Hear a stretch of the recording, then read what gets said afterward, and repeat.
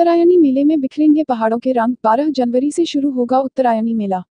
बरेली। जनकल्याण समिति द्वारा आयोजित 25वें उत्तरायणी मेले का शुभारंभ 12 जनवरी से बरेली क्लब मैदान में आयोजित होगा। यह जानकारी देते हुए जनकल्याण समिति के अध्यक्ष पीसी पाठक और महामंत्री भुवन चंद पांडे ने बताया कि 12 जनवरी को सुबह नौ बजे रंग यात्रा निकाली जाएगी, जिसको एडीजी प्रेम प्रकाश हरी झंडी दिखाकर रवाना करेंगे। मेले का उद्घाटन दोपहर एक बजे मंडलायुक्त रणवीर प्रसाद करेंगे और उत्तराखंड सरकार के वित्त मंत्री प्रकाश पंत और शहरी विकास मंत्री मदन कौशिक, केंद्रीय मंत्री संतोष गंगवार, मेयर उमेश गौतम, उत्तर प्रदेश के वित्त मंत्री राजेश अग्रवाल, विधायक अरुण कुमार, पप्पू भरतोल आदि हस्तियाँ मेले की शोभा बढ़ाएगी। रजत मेले में पहाड़ों की जड़ी बूटियाँ, उत्तराखंड के उत्पाद, चाय, गहता की दाल आदि के स्टॉल लगाए जाएँगे। मेले में सांस्कृतिक कार्यक्रमों में रेशम शाह, गौरव जायसवाल, पूरन सिंह दानू, जगदीश आर्य आदि कलाकार अपनी आवाज़ का जादू। बिखेरने आ रहे हैं। मेला का समापन 14 जनवरी को होगा। प्रेस वार्ता रमेश शर्मा, दिनेश पंत, जेसी पालीवाल, प्रमोद बिस्ट मोहन पाठक के पी एस बिस्ट देवेंद्र जोशी आदि उपस्थित रहे। ये पच्चीसवा उत्तरायणी मेला जो रजत जयंती के रूप में इस बरेली क्लब मैदान में 12 तारीख को शुरू होगा। और इस मेले में कई नई चीज़ें इस बार हम लोगों ने करने की कोशिश की है। यहाँ पर जो है चारों धामों की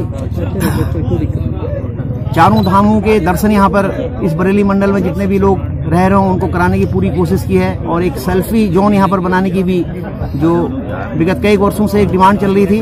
और इस मेले में 100 150 इंस्टॉल करीब हमारे पास अभी तक बुक हो चुके हैं। और मेले के लिए टेंट व्यवस्था को भी इस बार बहुत ही भव्यता के साथ, बहुत ही दिव्य और भव्य रूप के साथ किया जा रहा है। कई परिवर्तन इस बार इस पच्चीसवें मेले में हम लोगों ने किए हैं, जो आपको 12 तारीख को दिखाई देंगे यहाँ पर।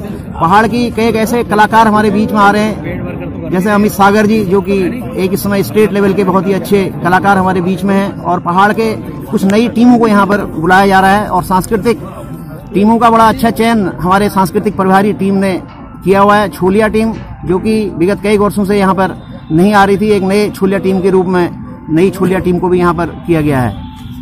ये रंग यात्रा कहाँ से रंग यात्रा कोतवाली पर से सुबह साढ़े नौ बजे वहाँ से दस बजे उसको हरी झंडी दिखाई जाएगी और दस बजे कोतवाली से हमारी रंग यात्रा चलेगी और रंग यात्रा में भी इस बार हमने 500 बच्चों मतलब कम से कम 20 स्कूलों को हमने अपने पत्र दिए हैं और कम से कम 500 बच्चों की स्कूलों के बच्चों का आने का रंग यात्रा में जो है शिरकत करेंगे। इसमें मुख्य अतिथि अभी तो क्या नाम कहते हैं जो हमारा मेले का जो हरी झंडी दिखा रहे हैं, वो तो आईपीएस श्री प्रेम प्रकाश एडीजी जो है, वो कर रहे हैं। और मेले का उद्घाटन आयुक्त बरेली श्री रणवीर रणवीर प्रसाद जी कर रहे हैं। और बाकी प्रकाश पंत जी और रेखा आर्य जी, इनके आने की पूरी संभावना है। संतोष गंगवार जी, राजेश अग्रवाल जी, इस मेले में अपने दर्शन हमको देंगे यहाँ पर, और वो हमेशा से यहाँ पर आते आते हैं। और बरेली के हम लोग जो है इस बार रजत जयंती मना रहे हैं। ये पच्चीसवा मेला का एक भव्य बनाने के लिए हम सब बरेली वासियों का और सबका सहयोग हमको मिलता आया है। इस बार हम मेले को और बनाने के लिए टेंट व्यवस्था और एक सेल्फी जोन बनाया जा रहा है, जो कुंभ मेले की तरह हम लोग बनाने की कोशिश कर रहे हैं। देखिए कितना प्रयास सफल होता है। लोगों का सहयोग मांगा गया है कुछ लोगों का।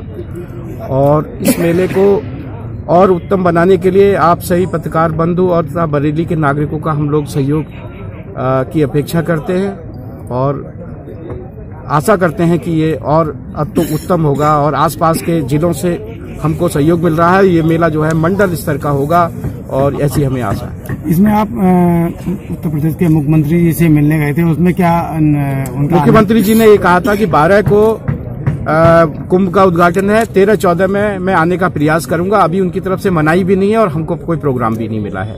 हमको उम्मीद रख रहे हैं कि आ, किसी वक्त आ जाएँ तेरह या चौदह में। बारह को उन्होंने मना कर दिया था उद्घाटन के लिए।